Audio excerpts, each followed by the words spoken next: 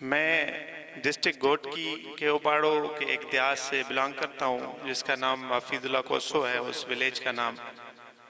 میں اکثر اپنے دوستوں کو بھی کہتا تھا جب سے میں تعلیمی سلسلے میں آیا کہ اگر بگ بینگ تھیوری کے بعد کوئی ہمارے خاندان یا اڑوس پڑوس میں کوئی پڑھنے کے لیے گیا تو میں گیا تھا۔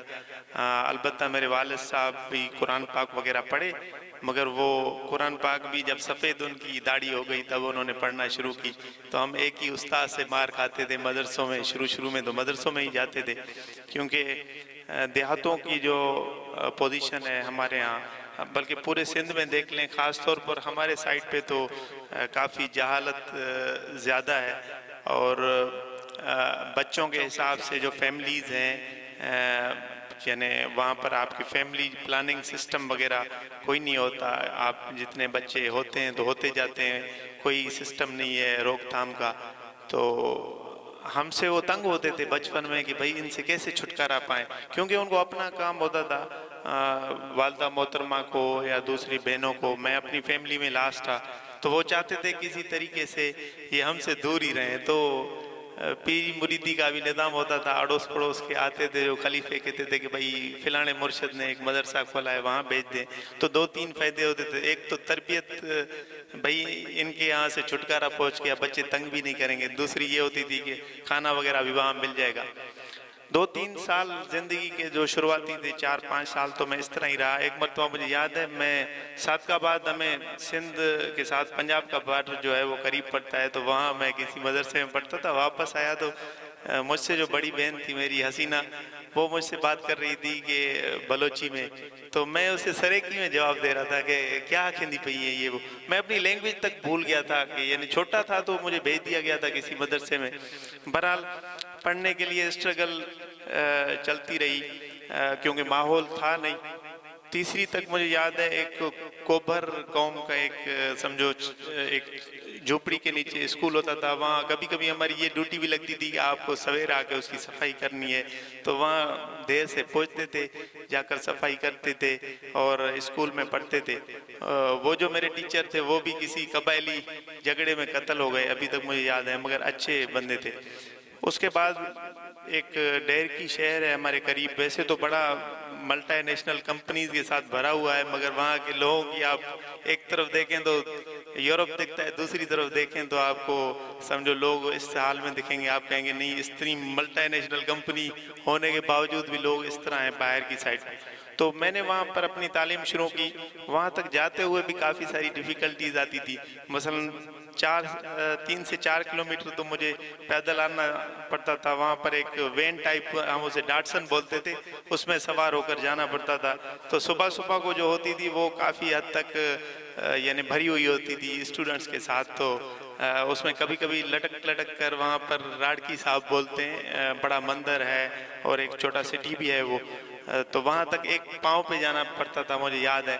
اور اس سفر میں جب وہ جہاں سے مجھے ڈاٹسن ملتی تھی، وہاں تک کافی ساری ڈیفیکلٹیز ہوتی تھی۔ مثلا ہمیں یہ پتہ نہیں ہوتا تھا کہ بھائی جو آپ کے ساکس ہیں، وہ کس طرح پہننے ہیں، آپ کو پینٹ شرٹ کس طرح پہننی ہے۔ جو وہاں پر کیچڑ ہوتی تھی، اس سے گزرتے جاتے تھے۔ ایک مرتبہ مجھے یاد ہے، ایک وائٹ قسم کا ڈوگ تھا، اس نے بھی مجھ پہ حملہ کیا تھا۔ وہاں گندم کی جو فصل تھی اس میں تو وہ دوسرے جو ہمارے رشتہ دار تھے وہ دور سے بلا رہا تھا کہ بھائی لالی آ جاؤ۔ تو مجھے ابھی تک یاد نہیں کہ میں نے کبھی اس کی کوئی انجیکشن وغیرہ لگوائی ہو۔ تب اس دیہاتوں میں وہ کالی مرچیں وغیرہ نہیں، وہ اپنا ریڈ کلر کی جو چلیز ہوتی ہیں وہ لے کے آئے، تھوڑا اس پہ لگایا۔ البتہ سب کچھ ٹھیک ہو گیا۔ تو سلسلہ چلتا رہا کسی طریقے سے آ کر ساتویں تک پہنچ گیا۔ ساتویں میں جب میں پہنچا تو دیہات میں تھے، جلتی میں شادیوں کا بھی وہاں پر رواج ہوتا تھا کہ جلدی جلدی میں شادی کروا دیتے تھے۔ تو مجھے بھی تھوڑی دیر کے لیے ایسے لگا کہ شادی کر لوں۔ کھیتی باڑی بھی کر رہا تھا وہاں ساتھ میں۔ یہ آپ کے جو جو کھیتی میں آپ کی ہوتی ہے، جب آپ چاول اگاتے ہیں تو اسے آپ اس کی کھیتی کرتے ہیں ڈیفرنٹ تو اس میں پانی وغیرہ لگاتے تھے، واٹر وغیرہ بناتے تھے۔ مجھے بھی مزہ آنے لگ گیا کہ ہاں بھائی، اس طرح کرو گے، ادھر رک جاؤ، مزہ آئے گا آپ کو۔ البتہ کسی طریقے سے وہاں سے نکلا۔ نویں، دسویں تک میں جا کر کشمور میں پہنچا۔ وہاں پر میں پڑھ رہا تھا تو کچھ قبائلی جھگڑے وغیرہ ہو گئے ہمارے ہاں۔ تو مجھے اپنے بھائی نے فون کیا کہ بھائی، آپ اپنا خیال رکھیے گا۔ یہاں پر جھگڑا ہو گیا ہے۔ کوئی بندہ قتل بھی ہو گیا ہے تو اس حساب سے۔ اب دسویں کلاس کا بچہ، سمجھو اور اسے پیچھے سے کوئی بتائے کہ بھائی خاندان میں کوئی سمجھو اس طرح کا کوئی معاملہ ہو گیا ہے۔ اور وہاں پر تو ایسی جہالت ہے۔ اب تک بھی آپ نے ابھی ویڈیو ایک وائرل ہوئی تھی، کوئی یونیورسٹی کا ہی بچہ کندگوٹ میں قتل ہوا تھا۔ اس بیچارے کا کوئی تعلق ہی نہیں تھا۔ وہ بس اس ذات وغیرہ میں جس کی ذات ہو گئی خوشو ہے تو بھائی ادھر سے دوسروں کا آپس میں جھگڑا ہے تو اس طرح مار دیتے تھے۔ البتہ دسویں جب میں نے پاس کی تو میں نے کہا کہ بھائی ابھی تو یہاں پر کنٹینیو نہیں کر سکتا، کہیں اور جانے کی ضرورت ہے یا کچھ کروں تو میں پنجاب کی طرف موو ہو گیا۔ تو باول پور بورڈ ہے، وہاں پر ایک اکرا کالج ہے، وہاں سے میں نے اپنی پڑھائی شروع کی۔ کچھ دوست تھے، انہوں نے مدد بھی کی۔ ویسے بھی ہر جگہ پر آپ کو اچھے لوگ بھی ملتے ہیں، آپ کی مدد کرتے رہتے ہیں۔ تو اکرا کالج ہے، وہاں سے میں نے اپنی انٹرمیڈیٹ کی۔ اور انٹرمیڈیٹ کر کے لیٹرلی ہمیں پتہ نہیں تھا کہ یونیورسٹیز بھی ایگزسٹ کرتی ہیں، کوئی بارہویں جماعت کے بعد بھی کوئی پڑھائی وغیرہ ہوتی ہے۔ میرا ایک دوست تھا جس کا نام ہے احمد علی سمرو، وہ اب اس دنیا میں نہیں رہا۔ اس نے مجھے بتایا کہ بھائی یونیورسٹیز ایگزسٹ کرتی ہیں، آپ انٹرمیڈیٹ کے بعد بھی پڑھ سکتے ہیں۔ تو میں آپ کا فارم وغیرہ بھراتا ہوں تو آپ پڑھو آگے۔ میں نے کہا اچھا ٹھیک ہے، اس نے میرے فارم وغیرہ بڑھائے تو ظاہر ہے، فارم بھرانے کے بعد آپ کو اس کی انٹری کی تیاری کرنی ہے ڈیفرنٹ قسم کے۔ تو اس کے دوست ہی یہاں پر ایک انٹرنیشنل ہاسٹل ہے، وہاں پر رہتے تھے تارک کوسو صاحب یا ڈیفرنٹ انہوں نے میری ایفیلیشن کرا دی ان کے ساتھ۔ تو مجھے یاد ہے، یہ آپ کا جو ہے ادھر I P A department Sindh university کا، وہاں ہم اس کی دیوار کو چھلانگ کر اندر جاتے تھے۔ اور میں انٹری ٹیسٹ دینے سے پہلے پندرہ سولہ دن اندر ہی رہا۔ وہاں ہی پڑھتا رہا۔ باہر نہیں نکلتا تھا۔ کہیں ہاسٹل پہ پکڑ نہ لیں کہ بھائی آپ تو outsider who. How could you come inside the hostel تو وہاں پر ہی رہا، تیاری کی۔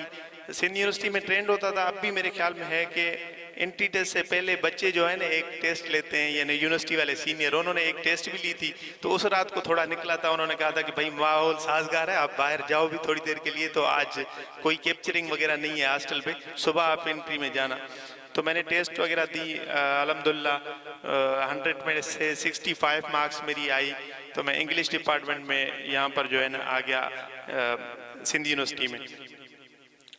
تب سلسلہ شروع ہوا کہ بھئی ابھی پڑھائی آگے یونیورسٹی کی ڈیفیکلٹی اب شروع ہونی تھی۔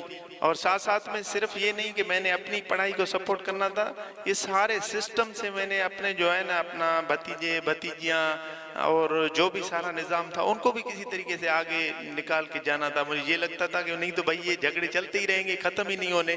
تو میں دو سے تین ڈائنامکس میں سوچتا رہا کہ بھئی کیا کرنا ہے، ان کو بھی آگے بڑھانا ہے۔ تو کچھ مہینے کے لیے جو ہے نا، کچھ دو تین منتھس کے لیے مجھے جو ہے نا کچھ پیسے وہاں سے گھر والے بھیجتے رہے تو کمپلیکیٹڈ مسئلے اور ہوتے گئے۔ پرلی پارٹی کی طرف سے جھگڑے ہوئے تو نقصان کافی انہوں نے کہا کہ بھئی ابھی چھوڑ دو پڑھائی وغیرہ، آپ واپس آ جاؤ۔ مجھے جب یہاں آ کر پتا چلا کہ بھائی آپ کا جو ذہن ہے، وہ آپ تو کچھ بھی کر سکتے ہو زندگی میں، کسی بھی سٹیج پر پہنچ سکتے ہو۔ میں نے کہا یہ جو مجھے اللہ تعالیٰ نے نعمت دی ہے کہ خدا نے مجھے چوز کیا ہے۔ Why not my all other sisters my brothers? They were eh, elder to me.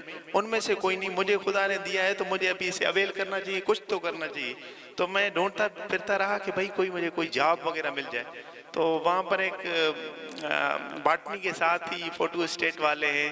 انہوں نے مجھے بتایا کہ یار ایک جاب ہے، مگر ہے سیکیورٹی گارڈ کی، آپ لگتا ہے نہیں کر سکو گے۔ دل میں سوچ رہا تھا، بھائی کچھ بھی ملے یہاں پر تو کر لوں گا۔ کہتا، نہیں بھائی بلڈنگ بڑی کھنڈرات جیسی ہے، آپ رہ نہیں سکو گے وہاں پر جو ہے، جن وغیرہ بھی ہوتے ہیں، اور ایک ہی بندے نے رہنا ہوتا ہے۔ میں نے کہا، بھائی میں کر لوں گا۔ تو سندھ یونیورسٹی کے اے سی ٹو کے ساتھ ہی ایک پی ٹی سی ایل کی بلڈنگ ہے۔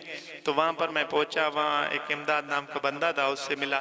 تو اس نے کہا بھئی چھٹیاں موٹیاں اس میں نہیں ہیں، عید وغیرہ کی بھی چھٹیاں نہیں ہوتی، چھ ہزار تک تنخواہ دیں گے، آؤٹ سائڈر کوئی اس آفس میں الوٹ نہیں ہے یہ پوری ریسٹرکشنز ہیں اور کبھی بھی پی ٹی سی ایل والے رات کو چھاپا لگا سکتے ہیں ڈیفرنٹ تھنگز میں نے سب کچھ ان سے سیکھ لیا، میں نے کہا ٹھیک ہے، میں یہاں پر رہنے کے لیے تیار ہوں۔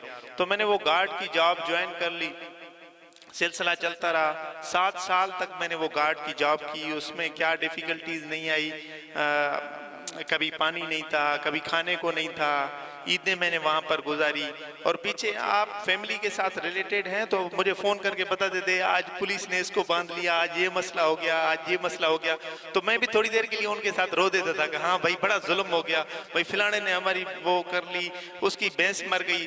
بھائی مجھے امی کہتی کہ بھائی آج ابو نے اس طرح کہا ہے، اس طرح میں بھی رو دیتا۔ ہاں بھائی جب وہ فون بند کرتا، میں ٹینشن لیس ہو جاتا۔ میں نے کہا یہ تو چلتے رہنے اگر ان کی طرف دھیان دوں گا تو میں تو ختم ہو جاؤں گا، مجھے کسی سکسیس فل اسٹیج تک پہنچنا ہے، اس کے لیے مجھے آگے بڑھنا ہوگا، تو خود ہی محنت کرنی ہوگی۔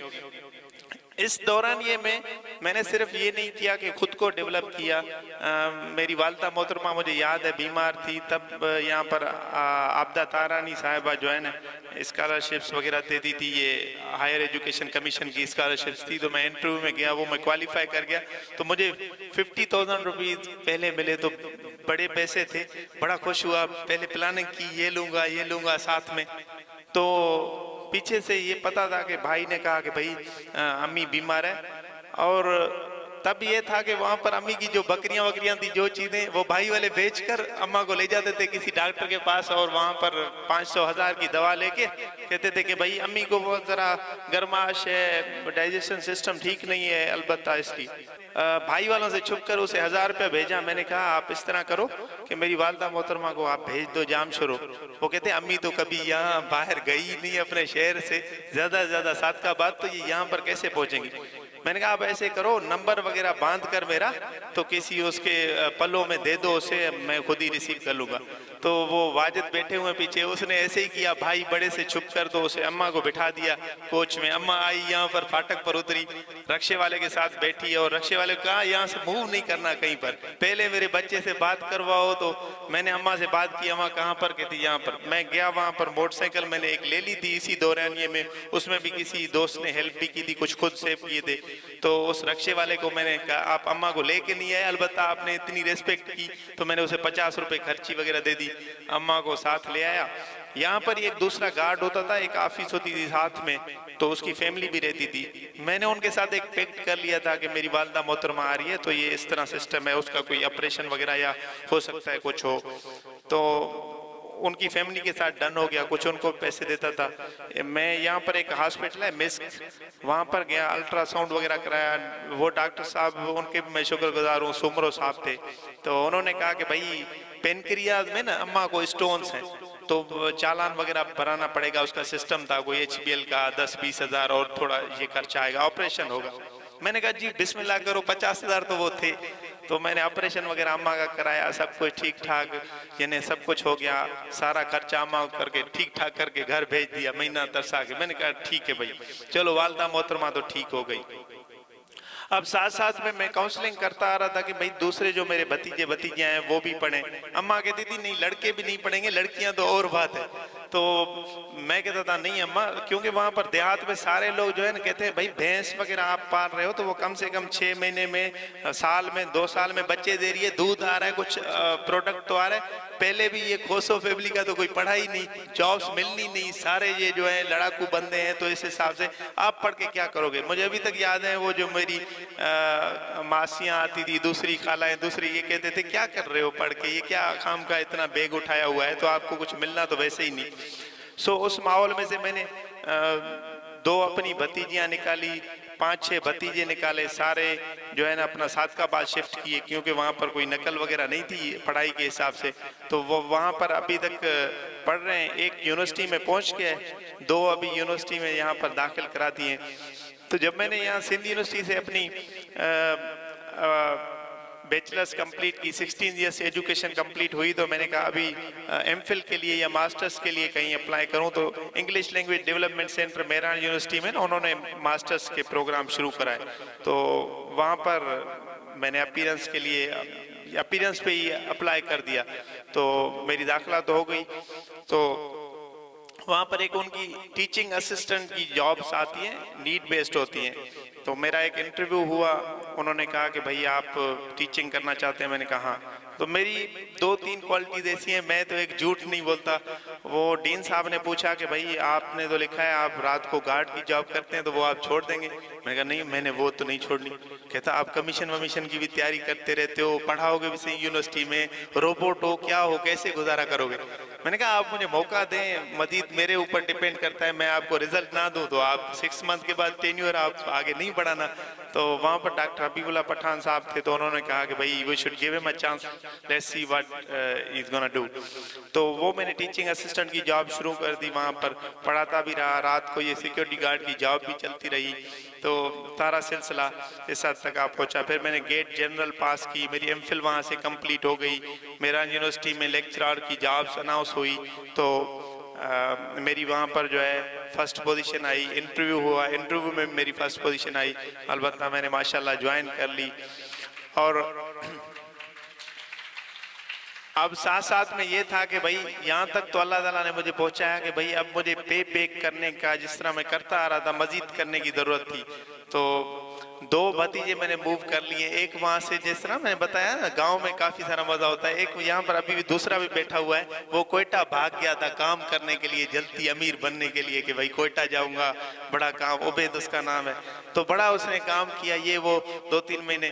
تو کسی طریقے سے اسے پرسو کیا کہ بھائی واپس آؤ، پڑھ لو، چھٹی میں آپ تھے۔